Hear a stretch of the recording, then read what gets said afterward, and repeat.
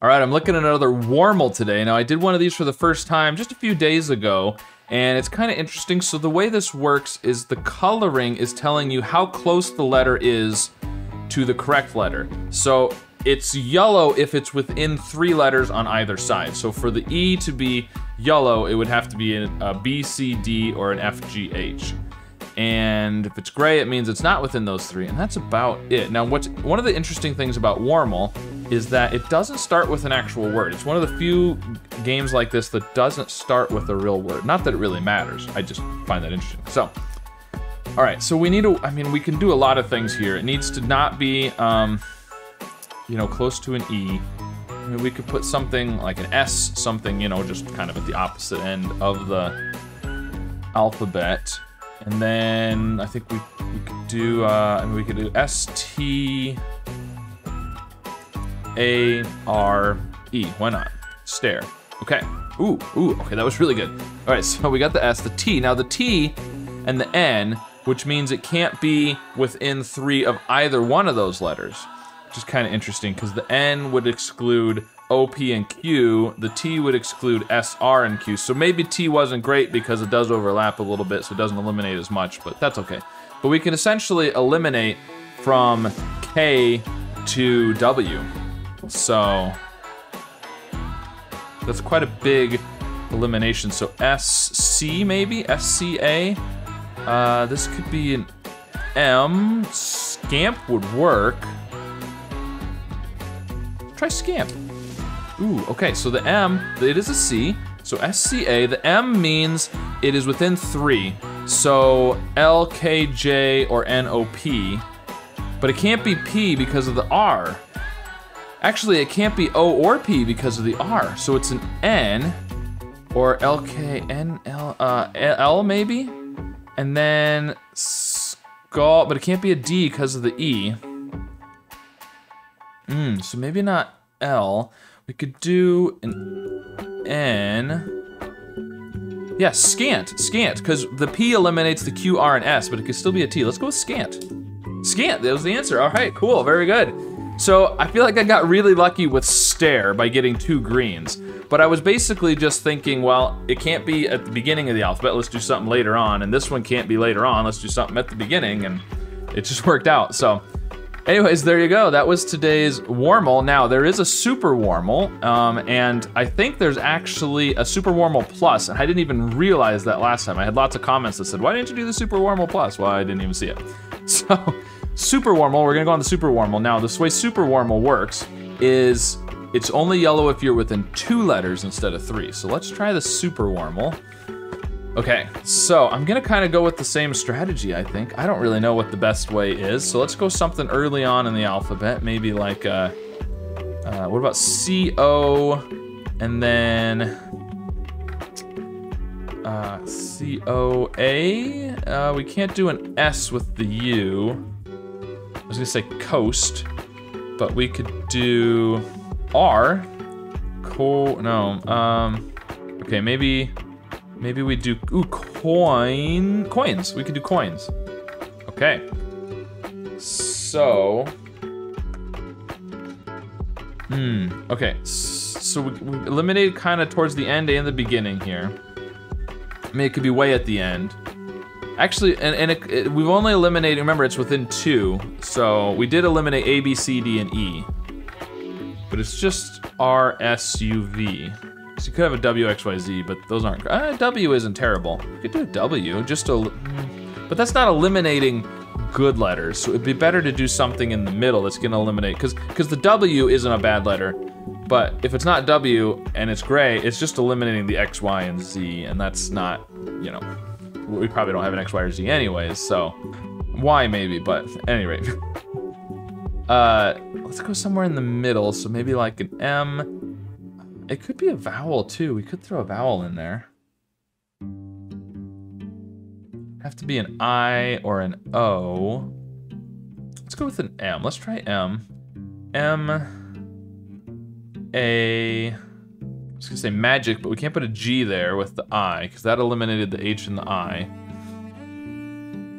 So we've eliminated G, H, I, J, K, L, M, N, and O. So, so we could do something like an R or an S maybe.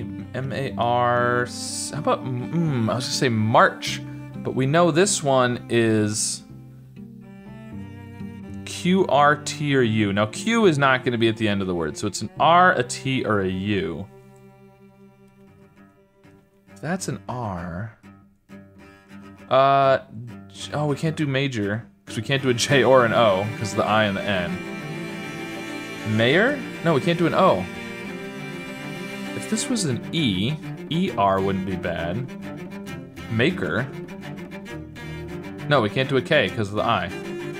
What if we did a C there and then we put a P here? Pacer. That would be pretty good. Let's go with Pacer. Okay. Okay. So, oh, this is interesting. So, we know from the S that it was either Q, R, T, or U. Now, because of the R being yellow, it's either Q or T, and I don't think it's gonna be Q, so I'm pretty sure that's gonna be a T. This one is A, B, D, or E. Any of those are possible. Now over here, the P means it's either N, O, Q, or R. But if it was R, the T would have been yellow. So it's N, O, or Q. Again, Q isn't great, but at the beginning we could do a Q, U. We could do, oh, we can't do quiet. Uh, this is A, B, um, D or E. If it was Q, U, it'd almost have to be an A or an E. Quest? Quest is good. Let's go with Quest. It's not Quest. Okay, but it's within two of P and within two of Q, which means it's either R or O. So that wasn't great. I shouldn't have done a Q. It's either R or O. Let's go with R. Uh, and this one, okay, it's not within, so it's not a D. So it's an A or a B, because if it was with the, if it was a D, the E would be yellow. So it's an A or a B. Uh, can't be robot, because we can't put an O there or here. Ooh, so if, okay, so, right, so I think, if this is an R, I think it's gotta be a vowel following. So it would have to be I. Hmm, no, I don't like that as much. So, maybe this is an O. And then this could be either an A or a B. This this is, could be a lot of things still. It could be an R. Uh, orbit, orbit, orbit. Can it be an I? Yeah, orbit. Let's go with orbit. All right, it was orbit. Cool. Okay, so that was a super warm. Well, now there's a super Warmle plus. I can't forget to do this one this time. Now, the way super Warmle plus works is you only get a yellow if you're within one letter. So this should be difficult. All right, and we got all grays. Perfect. All right, so I'm gonna kind of go with the same theory of kind of the opposite end of the alphabet. I don't know whether it's better to go with something close to eliminate a big chunk or to go early and late. I, I mean, I, I feel like there's more good letters earlier in the alphabet than later in the alphabet. So, I don't know. But really, this is only eliminate. I mean, the U only eliminates the T and the V. The K only eliminates the J and the L. So, I mean, you've got a lot of possibilities still. So, all right. Um, actually, we've got a lot of possibilities still. Let's go with still. Okay. That's not good. We still have a lot of possibilities. All right, um, let's go back to my plan of using the opposite in the alphabet. That was not the opposite in the alphabet. Uh, D, E, I'm just making stuff up here. D, E, what do we want to do? I don't know do. Magic. Why not? Magic, no. Still no magic in this puzzle. Okay. This is tough. I don't know what the, the right strategy is here. Um, okay, so I do know uh, that I'm not using good strategy. I know that much. For example, the I already ruled out the H. And so G was not great because it's only ruling out the F and the G then. We want to use letters that would rule out three possibilities if they're gray. So that wasn't great. Um, I think other than that, uh, and see the same thing here, the T was already ruled out by the U, so guessing S only would let us rule out two letters, so yeah, not using great strategy, but that's okay. I'm having fun anyways. Um, So basically we want to use letters that are more than two away from the ones that are already gray. So what about D-E dense? No, the E is, is only two away from the C. We could do delay maybe? No, the A is only two away from the C. Can't do decoy because the C is too close to the D. In fact, we know it's not a C because it's next to the D. We could do demon. That's not bad. Nope, N is only two away from the L. We could do something like detox, but X is only gonna eliminate W, X, and Y. Although Y at the end is common, but all right, let's just go for it. Why not? Okay. I mean, you'd think just blindly throwing darts at the alphabet, you would get close to something at some point. All right, so let's see. We could use an H, O. Um, I like ST at the end. We can't do hoist. This one could also be an O, something like roost or boost, but R is next to S, and the B is too close to the D. G, oh, what about Ghost? Ghost would be pretty good. Let's do Ghost. Okay, okay, okay. We've got one more guess. We can do this, we can do this. We've got the G, we've got the T. Uh, I mean, we've eliminated so many options now. Okay, so G, it's not an H. Um, it could be like an R. This one, would have to be a vowel then, which would have to be an A. And then what would this be? Can't be an N. Ooh, could be graft. That's a tough word. It would work. Um, otherwise, if this isn't an R, I think it's gotta be a vowel, which would have to be an O.